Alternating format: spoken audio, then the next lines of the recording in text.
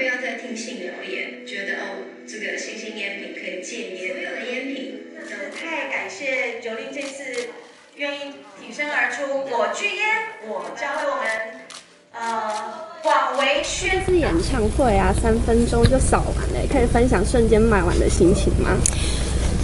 我我其实是非常激动的，是很很就是差点要落泪的那种感觉，因为呃之前可能在其他的巡演的时候没有没有这种激悸动的感觉，然后感有感受到大家的狂热，然后所以我就会就像我讲，我会接棒的把这个秀尽力的做好。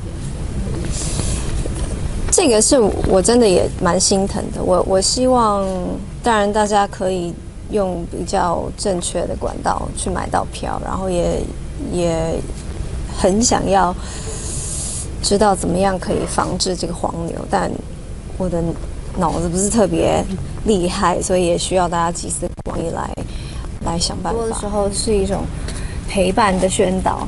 对我，我没有办法二十四小时看着你到底有没有做什么事情，所以要不要改变，真的是要你自己内心想做这件事情。对啊。所以交男友也不会要有抽烟的事。我不知道。好问题。你会先问？我我会希我会希望至少不要在我。面前一直一直对，也就是说，如果他会演，你也不能，你也对啊，那是他的人生，就像我说的。他如果爱上，就还是爱上。我想是吧？是吧？有这样的经验？啊？啊？什么？先前交往过的对象有抽烟的吗？我失忆了。